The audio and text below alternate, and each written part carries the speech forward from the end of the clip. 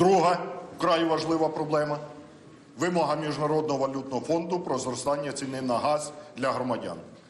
Нафтогаз уже склав комерційний план, де передбачено збільшення зараз на 67% ціни на газ для громадян, а з 1 вересня ще на 20%. І того в нинішньому році майже на 100% хочуть підняти ціну на газ. Оті, хто складає ці плани, вони уявляють, в якому світі живуть і в якому суспільстві. Чи усвідомлюють вони, що в українців немає грошей платити 100 разів е, більше за газ?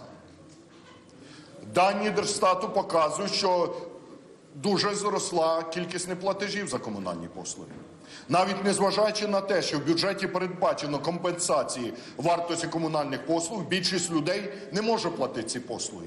Навіть при нинішній ціні на газ. Як її можна піднімати? Знову на 100%. Потім перекладається на видатки бюджету, щоб з бюджету платити е, субсидії олігархам, фактично власникам теплокомуненерго. Тому ми вимагаємо від уряду не піднімати ціну на газ.